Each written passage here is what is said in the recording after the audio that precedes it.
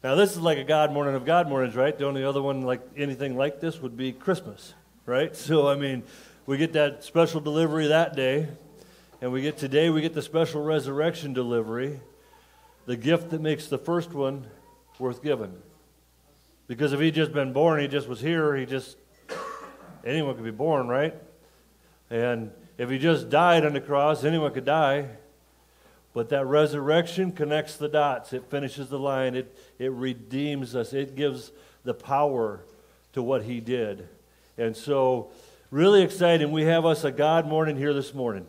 And uh, I'm, just, I'm just stoked. I'm just, you know, all around the country for millennia, pastors have been standing in front of their congregations and they've been saying, He is risen. And the congregations have responded, He has risen indeed. So today, I don't want to, this is one time I want to be like the rest of them, right? He is risen. Absolutely. Hallelujah. Praise Him. Praise Him. Um, let's, let's go to our Father.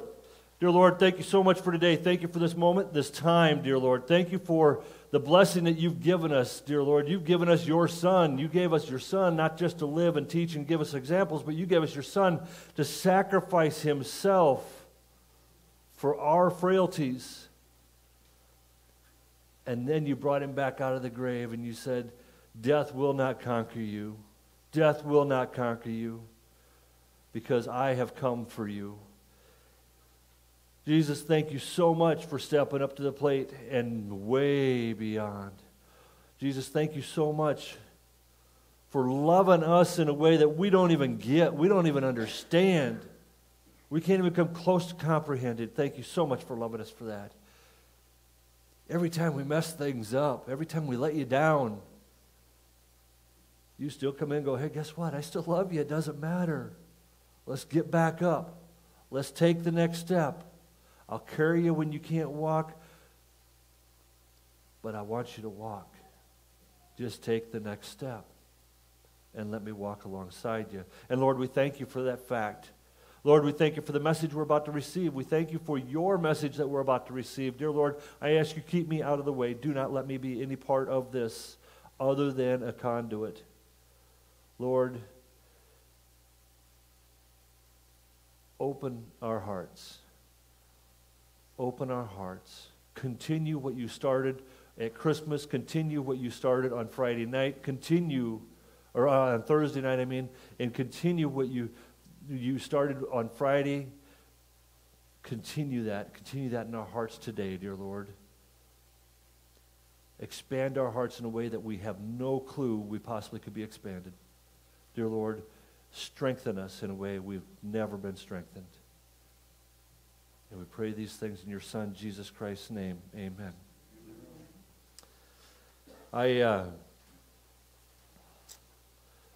thank you, Caitlin, for sacrificing. Mary had a little lamb, or, uh, Mary, did you know, is not her, Mary had a little lamb, she likes that one. Mary did, Mary, did you know, is not her favorite song to sing just because of where her pitch range is at and whatever. And she blesses me with it every Easter and every Christmas, and we're going to continue to do that. And I can tell you, I was back there having to wipe my tears again today because it is such a powerful, powerful song if you hear the words, if you let them into your heart. Um, so, anyway, um, one, one Easter morning, there was this farmer, uh, his, his wife went and she boiled up a bunch of eggs and she colored them, she dyed them all these different colors and stuff. And then she put them out in the barn so that, so that the kids would be able to go and find them later right? And uh, pretty soon the farm rooster goes walking into the barn and he sees all these colored eggs. Now he doesn't understand Easter, see? So he goes, he, he sees all these colored eggs and he goes and finds a peacock and beat the snot right out of him. He's like, so, okay, so anyhow, um, then there's another one because uh, I can't stop at one today. Little Johnny. So he's sick. He couldn't make it to church. He just, he's really feeling not good, right? So he doesn't make it to church and, and Pretty soon, his brothers and sisters and his, his parents come on home, and they're all carrying these palm branches. And he's like, "Hey, what's up with the palm branches?"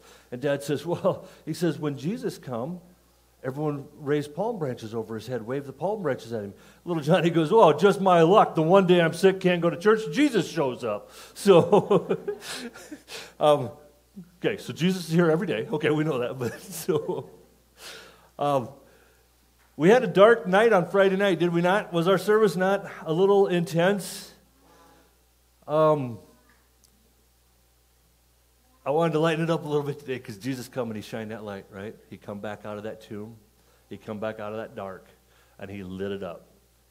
Right? He lit up the world while he was here, but he really lit it up that day he, res- he, he resurrected from that tomb. That day that he came through and finished the prophecy that had been made about him. And he came and he sacrificed for you and I. And so we're going to go through that. We're going to look through that, uh, the, the resurrection story through the eyes of Luke. Uh, Luke 24, verse 1 through 6, um, says, On the first day of the week, very early in the morning, the women took the spices they had prepared and went to the tomb. They found the stone rolled away from the tomb, and, but when they entered, they did not find the body of the Lord Jesus. While they were wondering about this, suddenly two men in clothes that gleamed like lightning stood beside them. Can you imagine that? Wow, talk about lighting up a dark tomb. In their fright, the women bowed, their, bowed down on their faces to the ground. But the men said to them, Why do you look for the living among the dead? He is not here, he has risen. He has risen. And all too often we have a tendency to go looking at the tomb, don't we? But he's not in the tomb anymore. That was a short stay. That was a short, short stay. He's not there. He's risen. So instead, they find these two angels in the tomb where Jesus had been, and he's announcing the fact that, that Jesus has been raised. So these women, they go running back to the disciples. They go cruising on back to where everyone's gathered at, right? And go back and they let them know he's alive, he's alive, he's risen. Our Messiah is not dead, he's alive. And when she gets there, by the time the ladies get there already, two of the disciples, multiple had left, but two of them are written about that two of them had already left and were heading back to Emmaus.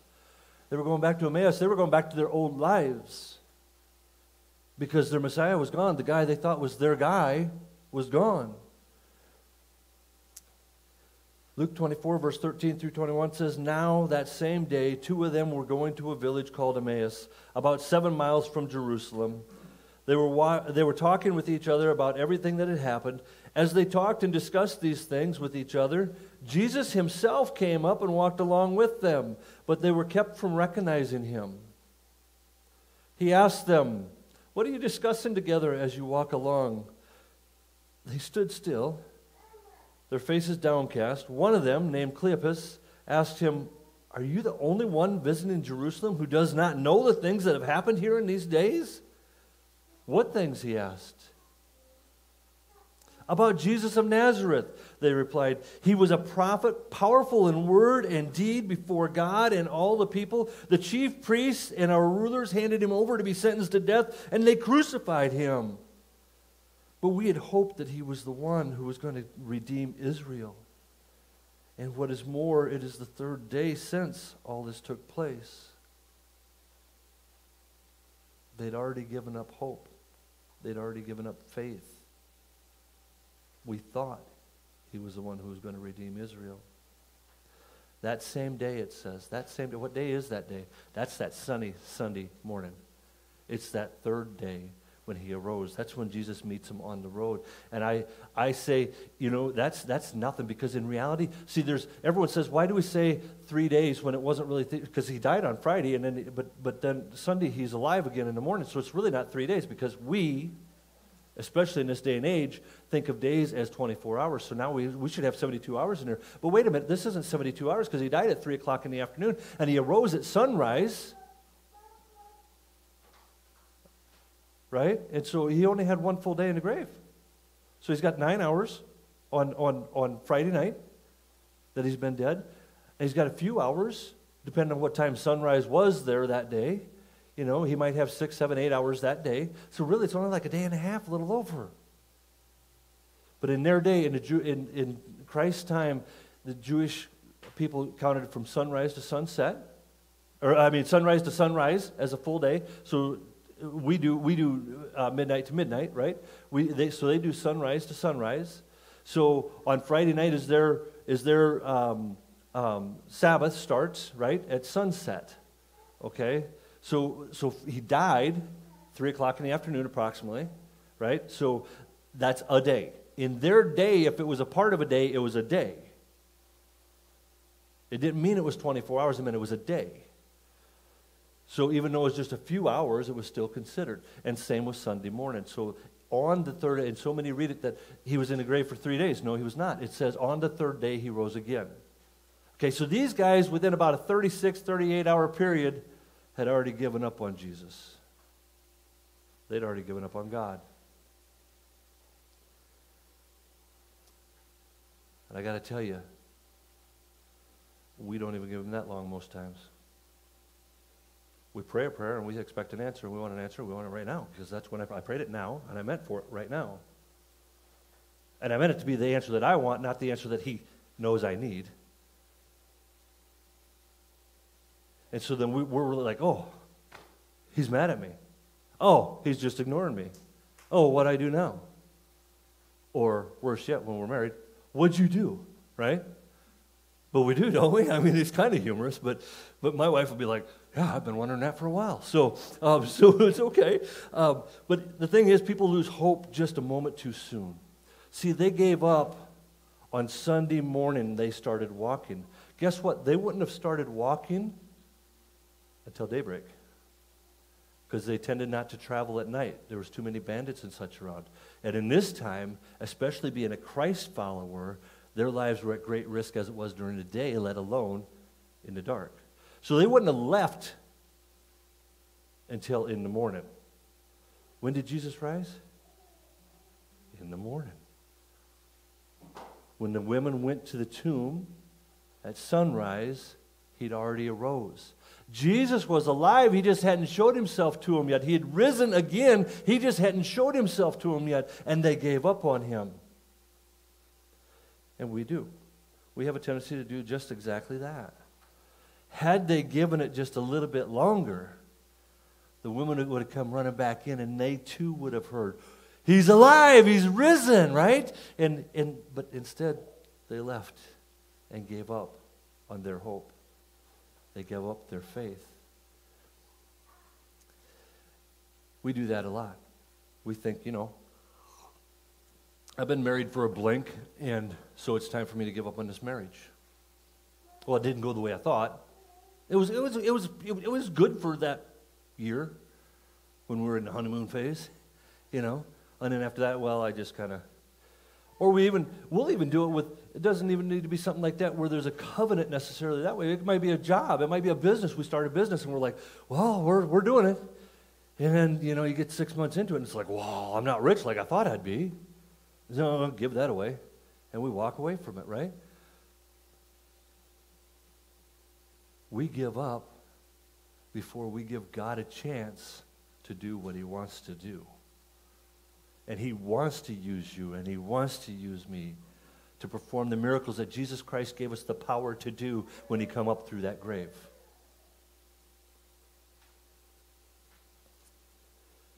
no matter what you're doing, no matter where you're going, you've heard me say it before, I'm going to say it over and over again because there's so much truth and so much power in it. The reality is, here's the thing if God calls you to take the step, where God calls, God provides. God will provide. God provides wherever God leads. Right? We've talked about it. If He put that step in front of you, you take that step. I don't care if you feel Him at your door at the moment, if you feel Him right there giving you everything you need at the moment. But if you know God's calling you to do it, then do it. Have faith, do it. God will provide what you need. There's the other key to that. We have this tendency to think, but I need six cars. I need the jet ski. I need a house. In this case, we, right now we do. I need a house with three stalls, right?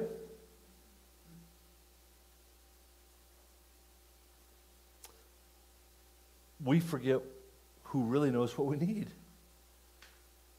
I need a big cushy office with all the fancy office furniture, and I well, it's got to be a really comfy co- uh, leather sofa in there because well, what if someone comes and visits me and we need to sit down side by side and talk? You know, we got to have the big conference room table, so we got to have that for this business. I got to have 2.5 children, so if my wife can't provide that, well, then I guess I'll find another wife. I got to have the picket, white picket fence out front, and if he's not going to build me a white picket fence, well, then I guess I'll find another husband. And we just give up on what God intends for us to have. We give up because of what we want, not what God says this is what you need. So these guys gave up. Now, what would you do if, what would you do if God said, you know what? Sheldon's praying for this, and he's positive he needs this for the church, and, and God says, hey, you know what? I'm in agreement with him. This is what he needs, and on day 19, I'm going to give it to him. And on day 18, before I go to bed, I say, you know what? Fold up shop, we're done. And he never got to deliver the miracle that he had prepared for me, for, for this church, right? We have to stay the course. We have to stay the course. We have to hold on to hope and faith.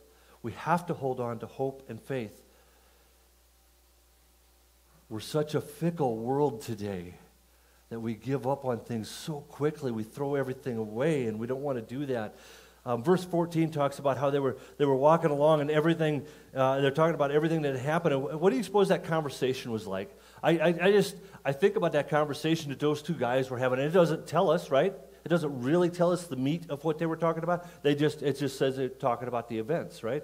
And so we, I got to wonder, this, this, this time, I think probably was fairly, fairly deep, but yet fairly shallow. See, it was a time for reflection. They had a time of reflection. And, and I got to I gotta believe, though, that in this conversation, they were like, man, he, he had us going. I thought he was the one, too. Guess not.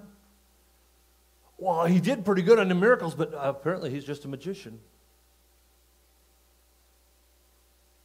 Right? I, I thought he was going to redeem Israel. Guess not. I guess we got to go back to the Pharisees and the Sadducees. I guess we got to go back to the same old, same old. And they're just kicking the ground. They're just walking along. like, oh man. And then Jesus walks up and talks to them. I think that's awesome. I think that's awesome. He comes up. And they're, they're spending this time reflecting. They're spending time, and that's what you and I need to do. They were reflecting on what Christ had done and what Christ, you know, the events leading up to. So they were reflecting on Christ but I'm afraid in their humanness, they most likely, and I don't know this, this is me, in their humanness, especially from the way they responded to Christ, and because they were blinded to know who he was, they were not allowed to know who he was, to me tells me that it wasn't necessarily all uplifting and faith holding. It was, they were struggling and they'd given up. Because God reveals himself to us when? When we have faith. He reveals himself to us when we do what we're called to do, even if we don't know how we're going to do it. We just know we're called to take the step. And when we take that step, he reveals what it is we need.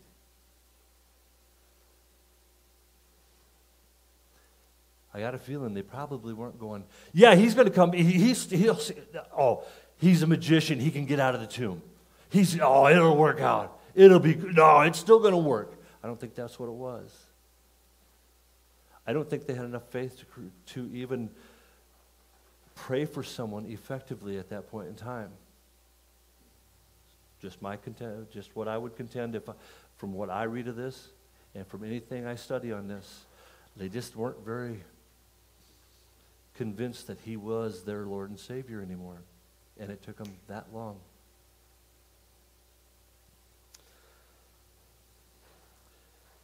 And I think, I think it's also kind of funny that these two guys are walking along and Jesus is out there, right? Okay, to play with me on this one.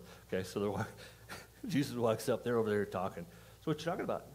Oh, oh, this Jesus. You don't know Jesus? But he just, well, he said he was all this in a bag of chips, but you know, obviously, really wasn't really all that much, you know. And Jesus like, oh, really? What's up with that? You know. And they're telling Jesus what had just happened, right? They're like, yeah, they just crucified him. They just hung him on the cross. They they brutalized him so bad you couldn't hardly even tell he was human. And then they hung him on the cross and they killed him, and, and now he's dead and it's all over with. And, and they're telling Jesus what Jesus already lived.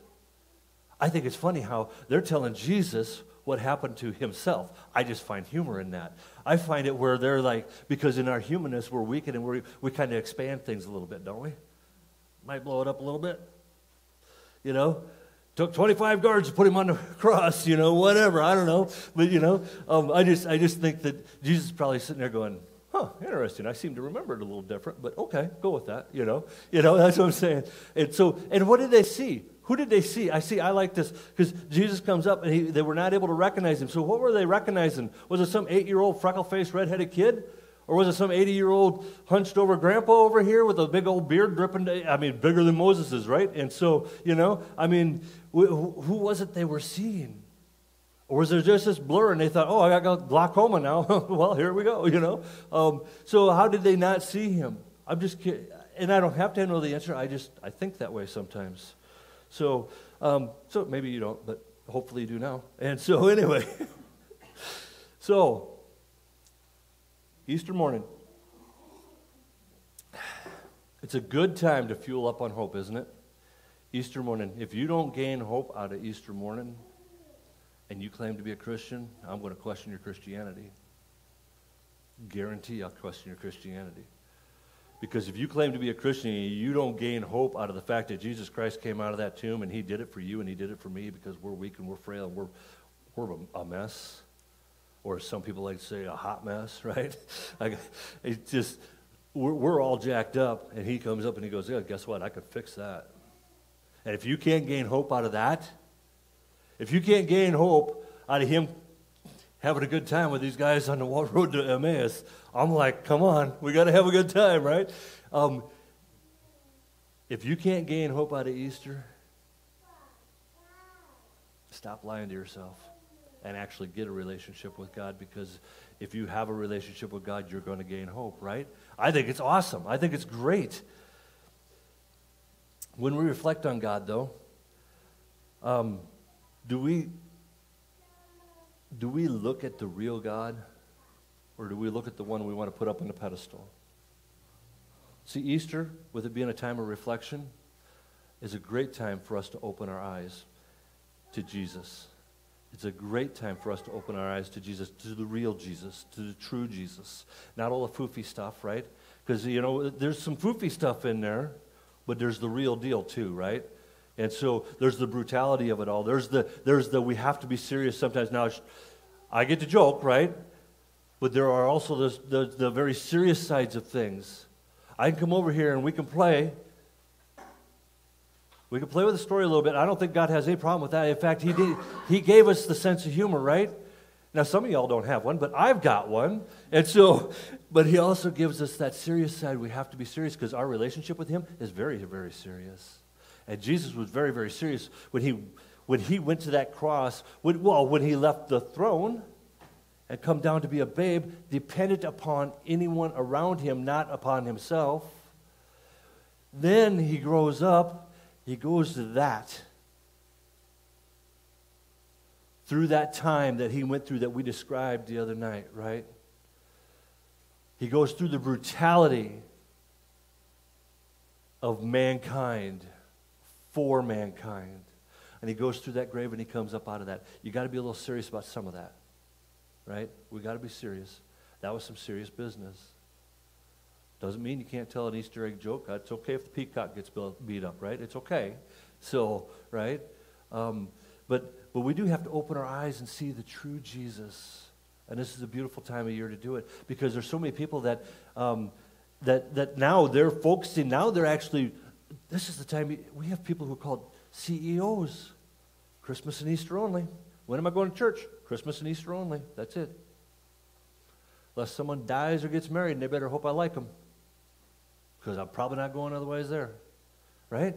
Ain't that true? There's so many people that their, funeral is at a funeral home. Why?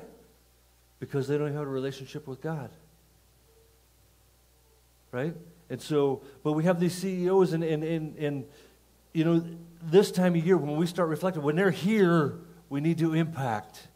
When they're, when they're here, we have to reach out to them. And if they're still out there and they didn't come today, we still have to reach out to them. Because just because they didn't show up this Easter doesn't mean they won't show up next week if you invite them. It doesn't mean that if you share what Jesus Christ put in your heart, what Jesus Christ has done for you, what he's everything about this entire story, which by the way is more of a his story this entire thing, if we share that with them out there, guess what? There's a better chance they're not going to be Christmas and Easter only. It's a great time to reflect for ourselves, but it's a great time to reflect with them. Share it. Love them. Right? And we're doing a disservice to God when we say, you know, I know what, they should go read it themselves. Really? Is that what Jesus did? Did he come down and go, you know, I'm just going to hang out here in the temple? Yeah, I'll go Get your books, get your scrolls out, do your thing. At 12 years old, he was astonishing them with his wisdom. He was astonishing the teachers of the day with his wisdom as a 12 year old. I don't think Jesus said, Hey, you all go read it. Let me know what it is. I'll, I'll take the condensed version, okay? Just let me know, right? So it's a great time for reflection. We need to open our eyes to the true Jesus. Luke 24, verse 28 through 31 says, As they approached the village to which, we're back to the, the road to Emmaus, okay? Um, so Jesus and the, and the dudes. Um, so as they approached the village to which they were going, Jesus continued on as if, as if he were going further. But they urged him strongly, Stay with us, for it is nearly evening. The day is almost over. So he went in to stay with them. When he was at the table with them, he took bread, gave thanks, broke it, and began to give it to them. Sound familiar? Then their eyes were opened, and they recognized him, and he disappeared from their sight. They finally realized when he broke his body once again, they finally realized who he was. It's a beautiful time for reflection. This morning we're going to break bread together in a little bit. Think about that. Their eyes were opened at that time. If your eyes have been a little closed, allow them to come open. And we're going to do that during the last song. So um, just uh, if you need to, some folks want to prepare themselves ahead of time. So if you zone out now, okay, I got it. So, all right. But uh, so more than anything else on Easter morning, we want our eyes to really recognize who Jesus is in our lives. Right? We need to recognize who he is in our lives because sometimes he's pretty small. Is he small in your life or is he huge in your life? Because he needs to be like that. Because that's what he was, was like that. For our lives. So he should be like that in our lives. Jesus wants not just to be Lord sometimes, not just to be Lord over your job, not just to be Lord over your marriage, not just to be Lord over your kids, not just to be Lord over your household, not just to be Lord over your church, not just to be that. He wants to be the Lord of all. He wants to be Lord of all people and all things. That's what Jesus requests of us. That's the only thing he asks of us for that. So the question we have is will you let him be your Savior? Will you let Jesus be your Savior? Because He wants to be your Savior, but many of us are doing this. We're doing this. Does now? I want to go. I, I need to. Some would say, "Oh, you're getting all Christianese on me." Yeah, good. I'm glad. I don't care about that, right? But some would say, "Oh, you're getting all, um, uh, you know, I got to do everything for him or, or it's nothing. I got to do everything for him, and you think you're so perfect. I can tell you, I guarantee you, I am the farthest thing from perfect. I've been broken so many times in the last week, in the last month. The devil's been doing his thing. He wants to tear this thing down. He wants to destroy this church. And I can tell you that he has been attacking so much in the last month. Easter is a powerful time, folks. He knew God was going to do his thing here. And he wanted to stop it as best as he could. Here's the thing don't give up. Keep your faith. Keep the hope. That's what keeps us going. He put this step in front of me, and I will continue to take it. And I encourage you to take the step. Take whatever that step is. Take that step.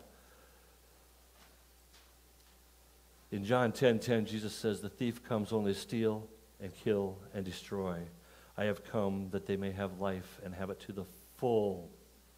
He wants to be the Lord of all of us and all in us, but he wants to give us life to the full. That means he wants to max out on us.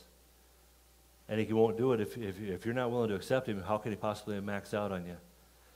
Boy, I'll tell you what, I think what he did going through that, going, going to the cross, going through the birth, but going through the cross and what he did over the course of this weekend, coming up through that grave, what he did there, I think that's some pretty powerful stuff, but he's going to act that powerful in my life. Lord knows I want it. I want it. Come on, Lord. Fill me up. Overflow me. Let's do this. He wants us to have life to the full. Don't you want that? Don't you think your neighbors, your friends, your coworkers want that, even if they don't know it?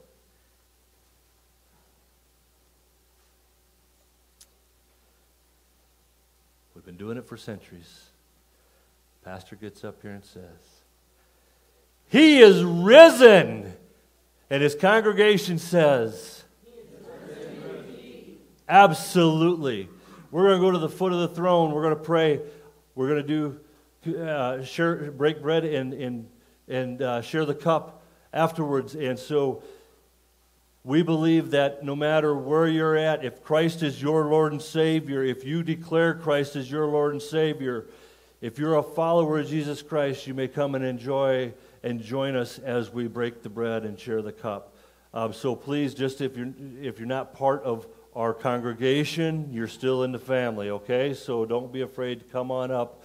Prepare your hearts. As I pray to the Lord, pray for yourselves. Prepare your heart before the table. And when we come out of this, Christ came out anew.